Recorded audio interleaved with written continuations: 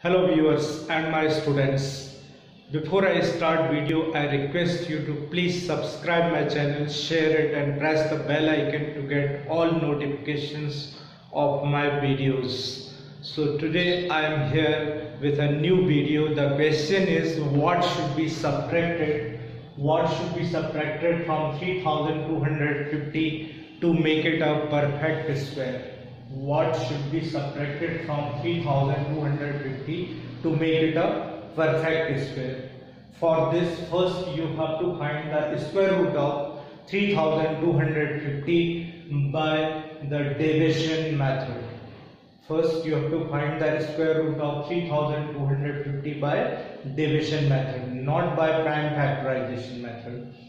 Then when we find the square root of 3250 by division method, we get 1 as a remainder. 1 is a remainder. So we know that 3250 is not a perfect square number. So that's why we got remainder as 1.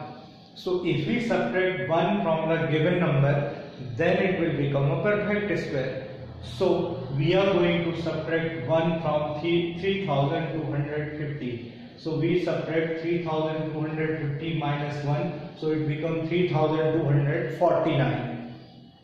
So 1 is the required number. Our question was what should be subtracted from the given number? 1 should be subtracted from the given number. But the question is also there also find the square root of the number so obtained.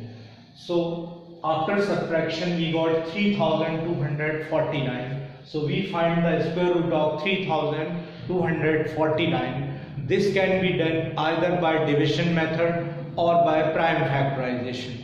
This is the choice here.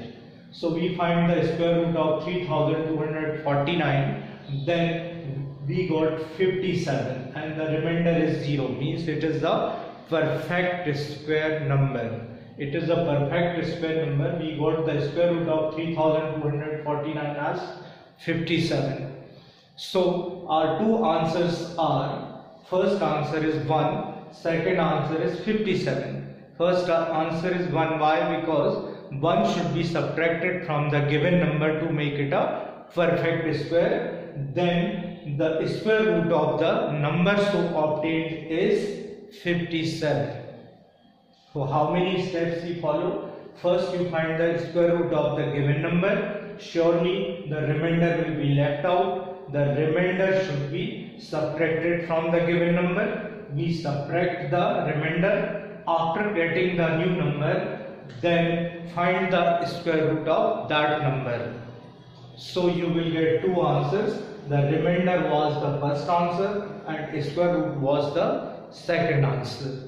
So the step number one is first find the square root of the given number. Second subtract the remainder. Third find the square root of the new number. Fourth step write the answer. So thank you. Have a nice day.